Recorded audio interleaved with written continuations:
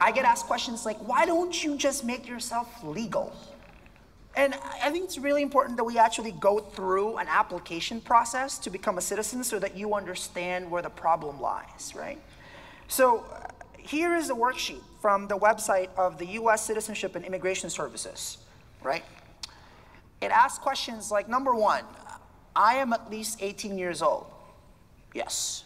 Number two, I am a permanent resident of the United States and I have been issued a permanent resident card. No. So I can't even make it pass line two. To get a green card, there's many ways, and one of them is the family way.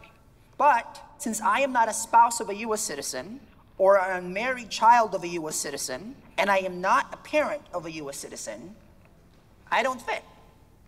So that's the really long answer as to why don't I just make myself legal.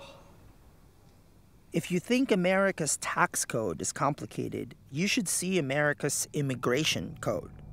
Who gets to come to America depends on your family members already here, your education and skills, and definitely your wealth. Take my mother. There are two ways she could possibly come here. Mama could become a legal resident. My grandmother applied for her, but the waiting list for family members coming from countries like Mexico and the Philippines is decades long. So Mama waits. Mama could visit me. She applied for a tourist visa.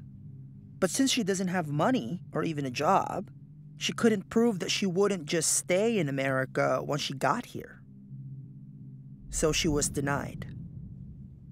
My whole life, my mother and I have been separated by a process I cannot make sense of.